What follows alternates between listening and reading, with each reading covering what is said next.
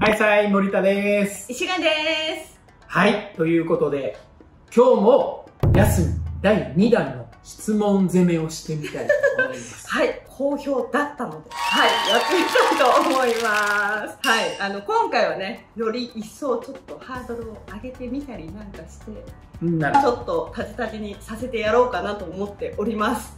じゃあ、その様子をご覧ください。どうぞはい。ということで、あの、なんとなくちょっとさせてはいるんですけれども。その通り 早いですが、第2弾、質問コーナーです。感覚早くないですか？思いついた時にはやらないとね、いはいつ俺死んじゃうかわかんないから出ました、さ。そのパターン。いきます第2弾、はいじゃじゃん、はい。学アルで働いて何年目えっと、3年目です。なぜ学アルへえっと、大学時代にもともとイベントで少し関わらせてもらって、それがきっかけですね。学アルの仕事は楽しいですか？はい。楽しんでやらせてもらっております。どんな仕事が得意ですか？えー、得意な仕事ですか？あんま得意な仕事ないかもしれない。あ、でも高校生と関わるのはすごく好きですね。だから、イベントとかになるんですかね。逆に苦手、難しいと思う仕事は？あー、えっ、と、管理する系というか、整理する系というか、スケジュール管理とか、っていうのがちょっと難しいなと思うことはあります。ヤスが仕事をする上で心がけていることは？心がけていること、そこまで意識高く働けてないかもしれないでも、あの楽しみたいなとは思ってますね。どんな仕事でも楽しみたいなっていうふうには思ってます。森田さんに言いたいことは森田さんに言いたいこと。もうちょっと縛りがないと難しいかもしれないですね。何でもいいですや言いたいこと言いたいことあ。いつもありがとうございます。あの、これからもよろしくお願いしますというところですね。はい。石川に言いたいことあーえっと、石川さん、あの、最近整理整頓頑張っているので、今めっちゃ汚いですけど、あの、勘弁してください。はい一旦ここで。はい。ちょっと言いたいことシリーズ、あの、広かったですね。もう少しさ、森田に、あの、わかんね いや、でも言いたいこと結構言えてるような気がします。普え。段あれだよ。よね、石川さんに言いたいことはって言ったら、お手柔らかに、あ、そうですね。共感。特に片付けとか整理とか。はい。油断したらもう荒れちゃってるんで、まあ言ってもらってありがたいところもありますけどね。ももはやお母さんだね。あ、でもそのイメージでいいかもしれないです。じゃあ続いていき、いきましょう。はい。はいヤスのモットーは？人生万事採用が馬ですね。いいことありゃわいいあの悪いこともあると、そういうことです。影響を受けた人物は？影響を受けた人物。一番最初に自我じゃないですけど、芽生えたのは、小月日野和さんっていう方の小説を読んだのが中2ぐらいで、それすごい印象に残ってますね。人の評価は気にする方ですか？半々ですね。あんま気にしないかもしれないです。あなたの強みを一言で強みですか？意外と雑草魂的なのはあると思います。どんな状態でも結構、あの、ニコニコというかヘラヘラというかしております。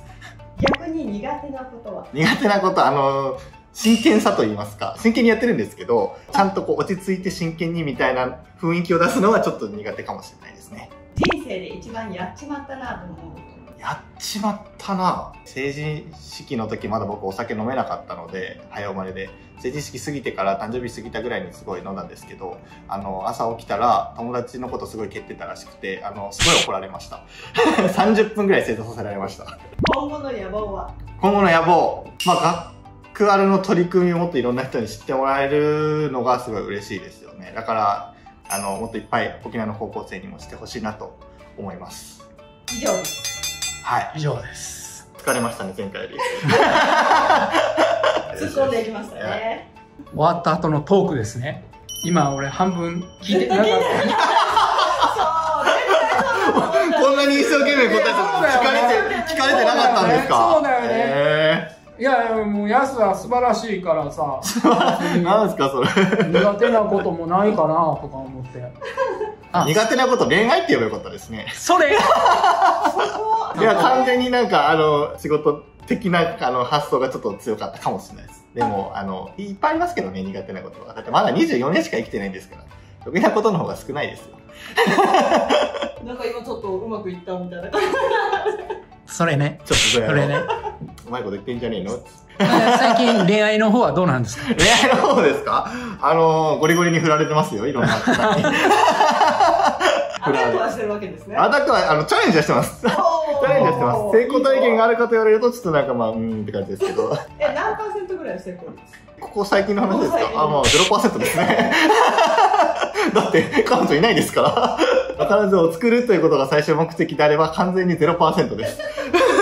もう傷をえぐるのやめようよ。いや、全然いいですよ。あの、でも、あの、これを糧にいろんな、あの、エピソードトークを作って、友達に話して、すごい、あの、うん、あの、よくしてもらってるので。視聴者の方がもしかしたら、いい人を紹介してくれるかも本当ですか？はいどうぞメッセージどうぞメッセージ。あの、自分で言うのもあれですが、すごい、あの、心根のいい少年、少年です。青年ですね。だと思っておりますので、何かこう、ごご興味ございましたら、噛んじゃいましたね。こういうところが失敗の原因ですね。ご興味ございましたら、ぜひご連絡ください。DM でも何でもいいです。よろしくお願いします。この人いいよ、紹介でも何でもいいです。もう必死です。お願いします。ということで、はい第2弾のね、質問を、はい。お疲れ様です。お疲れ様でした。なかなか言えないよね。言いたいことはって言われて。そうですね。金貸してくれ言われても困るでしょ。動画で金貸してくださいって。いや、なかなか、あの、第1弾に比べ、ちょっと、あの、はい労力かかりましたね。ちょっ印象に残ってるのは、とにかく誰か紹介してくださいいうことで。そうです。だから、高校生見てくれてたら、ここなんかもう周りにいくらでも男の子、女の子いるんだから、もうガンガン行った方がいいと思います、僕は。あもう、そうねガンガン、ちょっといいかなと思ったら、ちょっといいと思ってますって、もうこれでいいです。そしたらもう相手勝手に気にしてくれるんで、もうグッグーって感じです。どの目線からのアドバイスです確かかまあまあまあまあ、でもね、何でもそうだけど、後悔するよりは、はいこう、動くっていうそうですことはすごい大事だからね。高校時代、あの、あの時なんか言っときゃよかったな、みたいな思い出ないですか、二人あるある。ありましたよね。うん。あるけど、俺の時代はさ、またちょっと違うからさ、もう毎日外、外歩くときってもう常に女の子を意識して いやー、すごいですね。ギラギラしてますね。それはまたね、突っ込まないとねあそうですね。また次の質問で確かはいに。一問一答でやっていきたいと思います。時代が違。ということで、はいはい、今日もね、これで締めたいと思います。はいはい。はい。ということで、お願いします。はい、皆さん、今回も動画のご視聴ありがとうございました。あの、お悩み相談はいつでも乗りますので、誰が乗るねって話ですけど、ぜひ、いつでもお声掛けください。はいということで、また次の動画でお会いしましょう。またねー。バイババイバーイ